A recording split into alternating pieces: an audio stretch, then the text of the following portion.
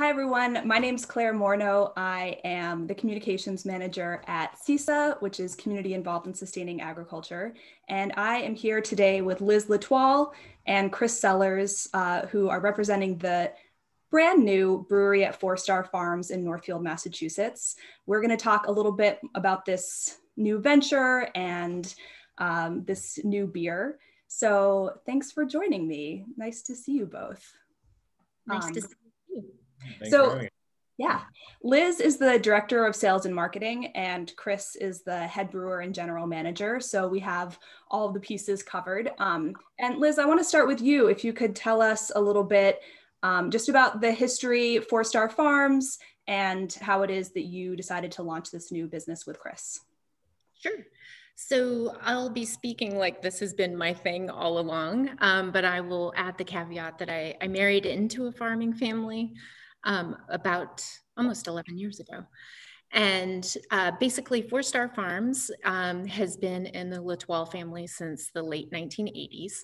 It started off as a monocrop farm, um, growing grass for the landscaping industry, the housing industry, and that sort of uh, market.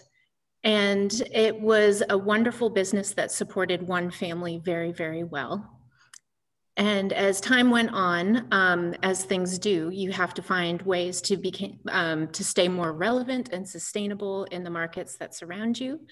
And so around 2008, um, when the family went from one family of a mom and dad and two sons to a mom and dad and two sons with spouses and children, we were looking for creative ways to really take advantage of the land that we have here. So we have about 250 continuous acres of farmland in Northfield on some of the best soil in the world. And so we were trying to look at things that we could do that would be different in the agricultural economy that we that we live in. There's a lot of farms in the valley. And so looking at crops that didn't require a lot of manual labor, um, None of us were particularly interested in managing large crews of people. Um, getting work done is more our specialty. Management is another level um, that takes a, a, lot of time and effort. So in about 2008, we started looking at diversification plans and that turned into us growing grains, which are a type of grass. So thankfully we had the, the knowledge to, to try to do that also a historic crop that was grown throughout New England um, through the late 1800s or so. And that was my mother-in-law's idea. She was a, a food scientist um, for many years, uh, has her master's degree in that. And my father-in-law at the time said, well, if we're gonna be growing grains, hops would be a great next addition because then we can make beer, knowing full well that we never wanted to make beer. so I feel like this is the beginning of so many stories that end with doing exactly that. exactly. And so, you know, both of those crops were things that had been historically grown in this region, but that all of the infrastructure, all of the institutional knowledge had left this area. So it was a lot of trial and error on our parts as farmers. Thankfully, my father in law, Gene, I'm pretty confident he could grow anything. Um, and so in 2008, we started these diverging paths of growing grains that we would mill into flour, growing hops for the local beer industry, and still continuing to grow grass that the farm was started on. And, you know, fast forward to 2020, there were lots of changes that started happening all over the world for, you know, COVID reasons. But our farm had also decided to start making some transitions we're all getting a little bit older. We're all realizing that time is important. And we were recognizing that we were growing three crops that all kind of begged for our attention at the same time. And so we made the choice to kind of narrow our focus down to what we thought we could manage best. And that meant um, letting go of the hops, uh, not the hops, sorry, the turf, and letting go of the, the grain side so that we could focus in on the hops, which seemed to be the most promising from our perspective. That's great. Yeah. What a um, story of constant innovation and adaptation, which is sort of I don't know, perhaps one of the themes of this year too. Absolutely. Um, Chris, would you talk a little bit about your background and how you came to this?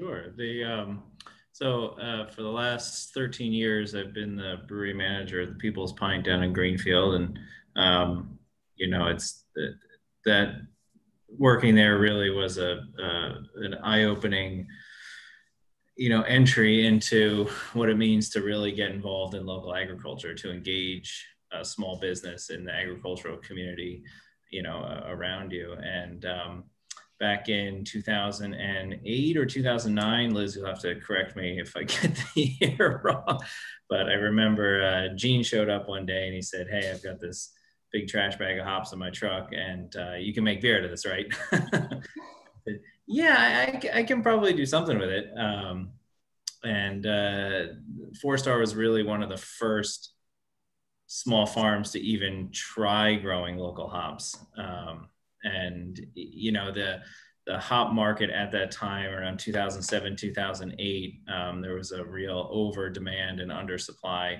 and um, their timing couldn't have been better for a lot of reasons um, as they found out down the road, the, the tricky part is really the processing and the packaging uh, for brewers. But um, one of the astounding things was that every time we used their hops, they'd come and say, Hey, how'd it go? What can we do differently, better?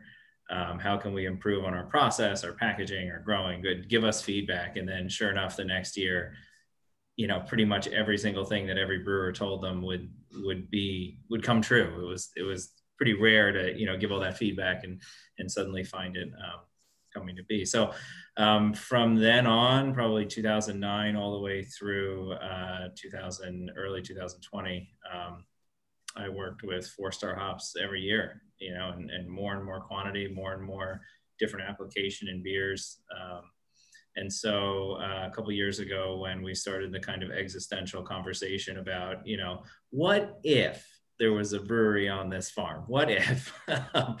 you know, it's it's difficult as a brewer to you know contain your excitement when you have um, the opportunity to to be able to draw your ingredients from within a, a football field away of your brew house. Um, so as we progress with our planning um, in uh, 2017.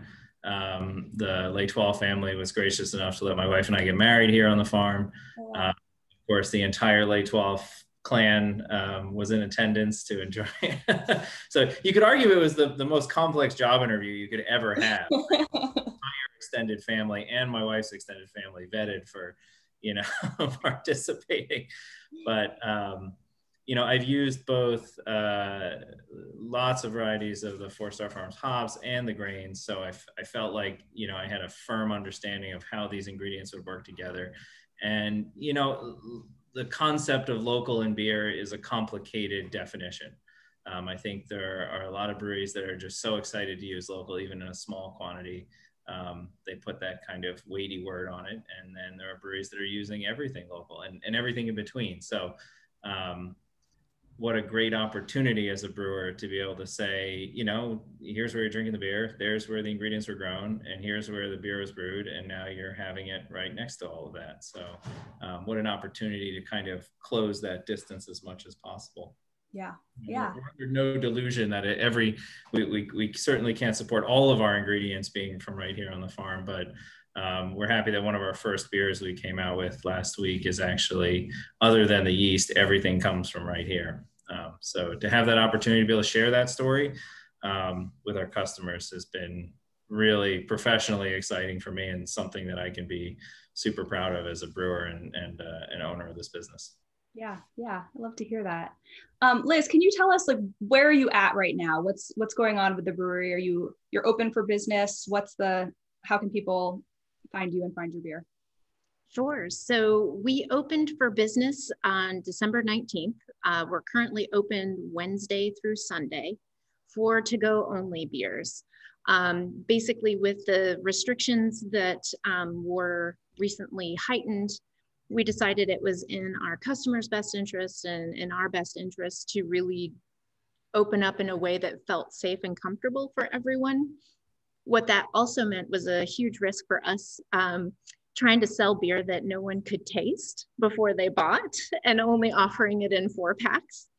Um, but what that has done is actually worked really well to gain community support.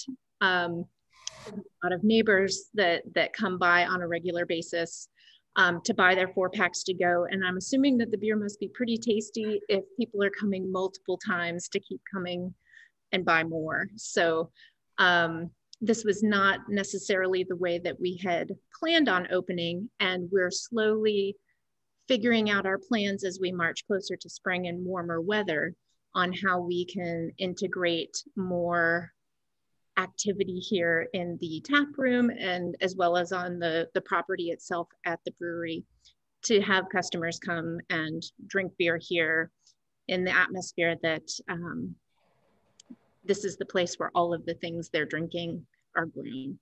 Yeah. And um, obviously you're really at the sort of beginning stages of this, but COVID aside, what's the vision for um, how this business is going to fit into our larger beer system. I don't know if that's a term, but what do you what do you sort of hope for um, when we're through this crisis period? Um, we're hopeful for all the things, if that makes sense. Um, we we really want this to be a community space um, where people feel comfortable, where they can come and get whatever level of engagement and education that they want to get from our farm if someone wants to come and just sit in the tap room and enjoy a beer, great. If someone wants to come and participate in, you know, an educational opportunity that Chris or one of the farmers is offering on, you know, this is how we gather our yeast and how we'll turn it into a house yeast or, you know, go on a tour of the hop yards while they're drinking a beer that's made from the variety that they're walking down the rows. Um, just trying to make it as much of an immersive community based spirit as people want to participate in. Yeah, that sounds so dreamy given our current circumstance. I can't wait for that to happen. Such a luxury. Yeah. Um, Chris, I'm aware that this is a dangerous question to ask a brewer, um, given time limitations on all of our days. Um, but tell us a little bit about the beer. Well, the uh, right now we have five different styles available. Um, everything from a New England IPA with all the, the hazy, juicy goodness that you expect to um, our sort of Franco-Belgian saison, which is uh, really showcases barley grown here, uh, rye grown here, wheat grown here, as well as hops grown here. Um, you know, but I, I, think in a lot of ways, the exciting part is taking some styles and creating them using the ingredients grown here and, and you know, kind of showing brewers that you can do these things with ingredients that are that are grown right here. Um, and and I think uh, to be able to explore the the parameters of that as as far as that'll take me um, is certainly in the future. But for right now, you know, we we really debated a lot. What what do we want to open with? What do we want to have? You know, there are a lot of breweries that open and say, here's six IPAs or here's three pastry stouts and two IPAs. You know, there's a lot of um, a lot of breweries that open up with one particular goal in mind. And what we realized is that one of our core purposes here is to be a part of this community and, and to create something that people will want to participate in and, and create a product that people will want to buy and not just one specific group of beer drinkers, but a wide variety of people. Um, so to offer everything from, you know, the, the hazy IPA to say a, a British session style beer, um, for me both allows us to showcase the characteristics of the ingredients we're growing here but also to reach a wider audience of customers. And i think the exciting part is in the last three weeks we've actually been open. Um, first we've people actually came and bought the beer with money so that's like really exciting.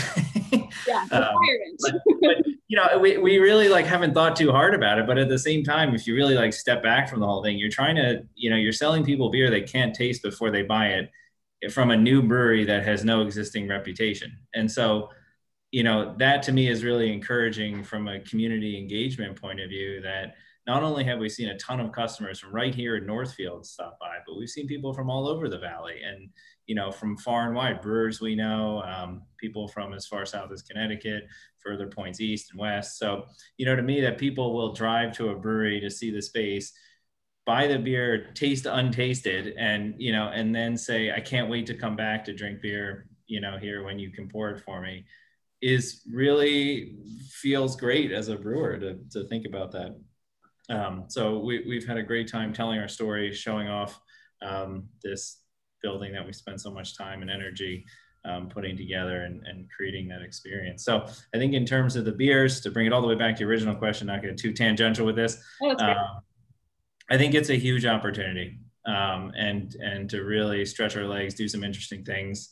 Um, you know, we are planning on doing some wild yeast harvesting in the next couple months as temperatures get sustained cold enough to do that. Um, and you know, explore some of those opportunities and some of those possibilities. I think it'll create such a unique and wide variety of products that we'll be able to be a new and different member to our our kind of Franklin County craft beer community and our certainly our Pioneer Valley craft beer community. Yeah. Well, I have to say, both of you, your excitement about this is really palpable and really infectious. And um, yeah, I can't wait to get up there myself. Liz, do you want to show us the space as a little bit of a teaser for um, sure. days? Sure, I'm going to do it um, the low tech way. Yeah. Um, and just a, a, quick spin around the tap room. Um, so basically, and I'm going to try to also monitor my camera as best I can while I do this. so we'll take a little spin around. We're currently in our tap room, as I mentioned, um, where basically the whole goal of this space was to build a building that if you're not too into the outdoors, you can enjoy the building, but also if you're really into the outdoors, you have spaces like this, which might not be easy to see, but you're looking out at a row of pine trees that separate the brewery from one of our hop yards. And so it, it's a beautiful space made with wood that we gathered here from the farm. Um, lots of live edge countertops and things like that. And then also giving a bird's eye view into the brew house. So if Chris happens to be making cool.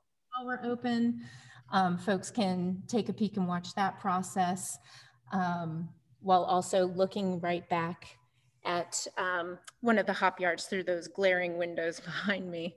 So just kind of the, the full immersive experience. So you're here at the farm, there's beautiful lawns surrounding the tap room. There's these hop yards that in any season kind of give you something beautiful to look at, whether it's the starkness of winter or come July, you know, these these really tall behemoth plants that um, create an own their own microclimate and unique environment. Yeah, most people have probably not seen hops grow, but they grow to be how tall? So they grow to be about 19 feet tall, um, and it's kind of remarkable. So one of the things that some of our customers are looking forward to is the step-by-step progression. So yeah. they start growing in April. By the summer solstice, they've grown from the ground to the 19 feet of the trellis. So some weeks that means they're growing up to three feet. And so it feels like you, you can literally watch them growing while you're sitting there looking at them. Kind of weird, but yeah. also cool yeah, that's so neat. Um, all right. Well, I want to ask you both just, I feel like we've covered so much about what is great and exciting about this, but I want to ask you both just like, what are you most excited about being able to do with this new business, with this new space? Like, what's the, the one thing that you kind of want to pass along to people that you're excited about? Liz, do you want to go first? Um, sure. I think, um, the biggest thing that I'm excited about is to give people a chance to really see our farm. Now, the brewery is not the farm, the brewery is here on the farm. But um, for so many years, we were a wholesale business that really didn't have the opportunity to create um, events for people to come and see what we were doing, except for once, once in a while, once in a great while. And this space gives people the opportunity to come and ask questions because inevitably one of us farmers is going to be working in the tap room. And so, hey, what are those things growing across the street there? Um, and really give people a chance to experience agriculture from start to finish. So you see the hops growing in the field, you see the grains growing in the field, and then you can actually learn what they taste like in the beers that Chris makes. Yeah. Chris, how about you? Yeah, you know, it, there's there's so much opportunity when it comes to this kind of new project and perspective on on brewing. Um, but the other fun sort of side feature of this brewery is we also have a winery license. Um, so we've had, uh, you know, I think a lot of people think tap room. Okay, well, I'm going to go with five friends, and one of them is always inevitably not going to like beer. Um, that's just how the, the the drinking world works, right? but uh, we've partnered with our friends at uh, Black Birch, who have just been an absolute pleasure to work with, um, and they've contract produced a white wine and a red wine for us. Um, so we'll have that as available uh, available as well, and uh, we're also um, uh, producing our own hard cider. So, um, you know, in, in, addition to all of this exciting opportunity with the ingredients grown right here on the farm, we're able to create these relationships with, um, you know, like Pete Mitchell up at Headwater Cider and um, Simon up at Scott Farm in Dummerston, Vermont, um, to, to work with them on some other agricultural products that we can, you know, create some more creative opportunity and uh, provide a, a product that might not be beer, but you know, is still sourced from right here um, for our customers. But really, at the end of the day, the the opportunity is is so vast when it comes to new and interesting projects, and I look forward to really working with all of my neighboring brewers and, and continuing to to be a strong part of this beer community right here, uh, both in Franklin County and in in the valley as a whole and the state. yeah, yeah. Um, Liz, do you want to give the quick how can people find you synopsis before we sign off? Sure. So the best way to find us is at fourstarbeer.com. That's F O U R S T A R B E E R.com. Um, or on all of the socials. Um, it's at Four Star Beer, spelled the same way, whether it's Instagram, Facebook. Um, we we do Twitter a little bit. Um, and also, if you're old school, you can call 413 225 3187. And where is the brewery located? So it is located at 508 Pine Meadow Road in Northfield, Massachusetts. Um, it gets a little confusing because we're literally right near the entrance of the farm, but we have our own separate entrance um, at a sign with our logo and name on it. So you can't miss it. Great. All right. Well, thanks so much to both of you for your time. And um, I'm really excited to hear about all the work you're doing. It's pretty great. Thanks so much, Claire. Okay.